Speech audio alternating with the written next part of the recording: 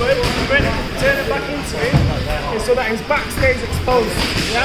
Anyone who's, who's half decent, as soon as they hit the mat like this, they're gonna roll flat to the back to stop me from getting the back. Yeah? Because having someone inside control is better than having someone on your back. Yeah?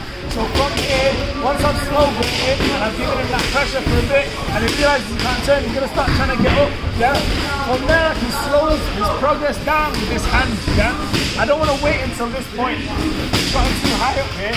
I wanna get him as he's coming up, yeah? As he's coming up, I wanna catch here and slide my knee underneath him, yeah?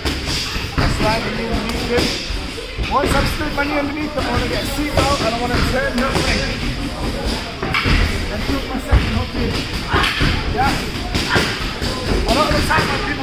back, try and, try, or I've seen a few times where people try and take the back by rolling over when they've not got any skin in the game.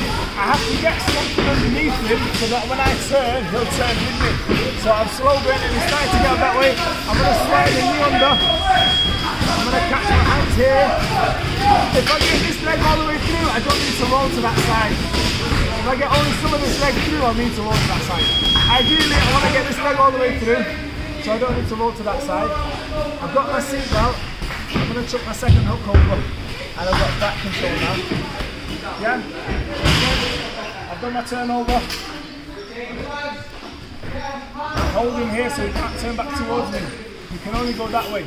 As he goes that way, I'm going to chuck my second hook in. Catch. Catch. Go to my seat belt, yeah? Bottom hand on top of top. There we go.